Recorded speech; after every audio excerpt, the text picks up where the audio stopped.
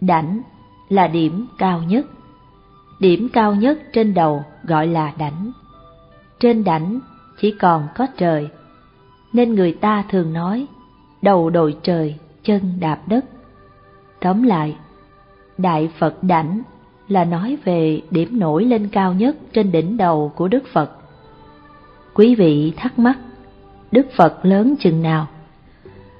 Có phải như một pho tượng cao sáu feet chăng?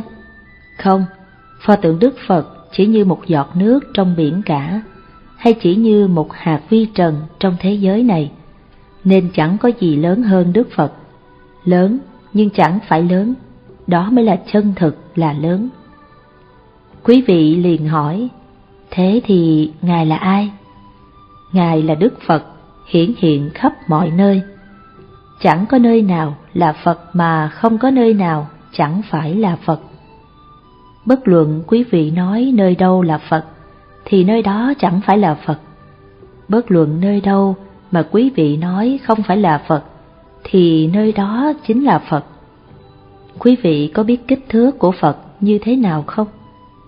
Chẳng có cách nào tính kể được Đức Phật to lớn bao nhiêu, nên Đức Phật thật sự rất lớn, quá lớn đến nỗi Ngài vượt qua tất cả. Làm thế nào mà vượt qua mọi thứ được cho là lớn?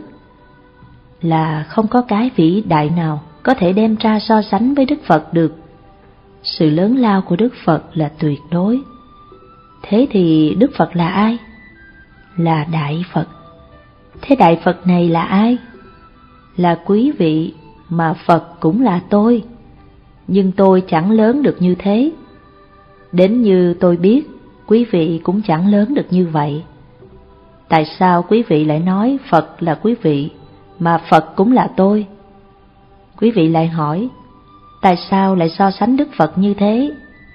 Nếu Đức Phật chẳng có liên quan gì đến quý vị và tôi, thì ta chẳng cần bàn luận gì đến Đức Phật cho mất công. Quý vị lại hỏi, làm sao mà tôi lại lớn như thế? Phật tánh rất lớn, vốn có sẵn trong tất cả mỗi chúng ta, cũng như cái không thể so sánh của Đại Phật vậy. Bây giờ chúng ta không chỉ nói về Đại Phật nữa, mà chúng ta sẽ liên hệ đến đảnh tướng trên đầu của Đức Phật. Chỉ có một Phật cao hơn vị Đại Phật, đó chính là đảnh đầu của Ngài. Và Đại Phật đảnh sẽ có liên quan đến sự xuất hiện của những vị Đại Phật khác sắp được hiện ra. Quý vị liền hỏi, Đức Phật ấy lớn cỡ nào? Đức Phật ấy không thể thấy được, Ngài được diễn tả trong bài kệ chúng ta thường đọc trước khi tụng chú Lăng Nghiêm.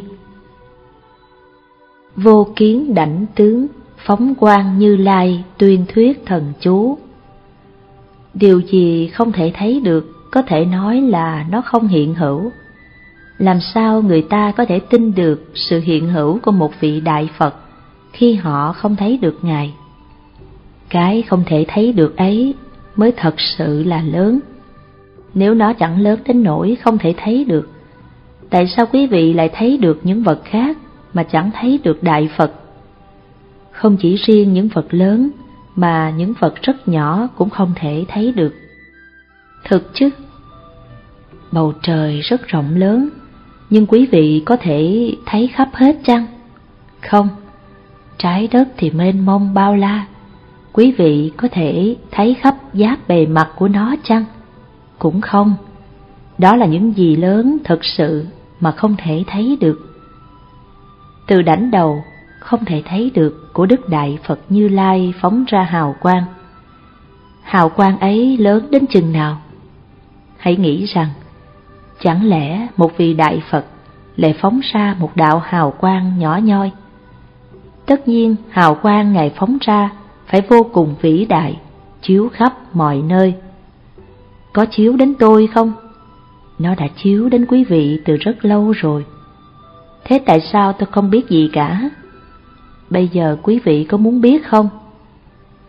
Tâm thanh thủy hiện nguyệt, ý tịnh thiên vô vân. Khi tâm thanh tịnh thì trăng phản chiếu trên mặt nước. Khi ý tĩnh lặng thì như bầu trời không gợn tí mây. Nếu tâm quý vị hết sức thanh tịnh, hào quang của Đức Phật sẽ chiếu đến và sẽ tỏa sáng trong tâm quý vị như ánh trăng soi chiếu trên mặt hồ tĩnh lặng. Nếu tâm quý vị còn nhiễm ô, cũng như một vũng nước bùn đục ngầu, chẳng có thứ ánh sáng nào chiếu dọi qua được. Tâm định giống như bầu trời không mây, là trạng thái vi diệu không thể diễn tả được. Nếu quý vị tự thanh tịnh tâm mình rồi, thì quý vị sẽ có được sức mạnh của thủ lăng nghiêm đại định.